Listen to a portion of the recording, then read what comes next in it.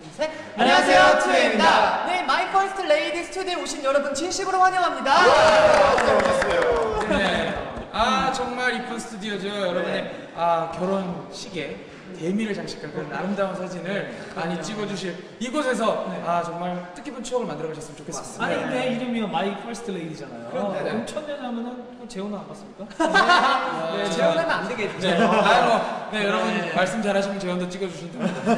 인생에 단 한 번뿐인 그런 추억을 또 사진 네네. 속으로 담아서 네. 평생 간직해야 되는 그런 중요한 순간이기 때문에 그렇죠. My First Lady에서 정말 이쁘고 그리고 정말 아름다운 그런 사진을 추억으로 남겨줬으면 좋겠습니다. 이건 또 평생 남습니다. 그리고 또 이재용 실장님. 네, 이재원 실장님이 또 굉장히 잘 찍으시지 않습니까? 멋지게 어마어마하시죠? 어마어마하시죠. 감사합니다. 그냥 시킨 거 아닙니까? 네. 장난 아닙니다. 또 스튜디오가 청담동이라 저희 숙소 근처에서 찍을 수도 있으니까요. 저희 네. 마주치더라도 반갑게 인사해 주시고요.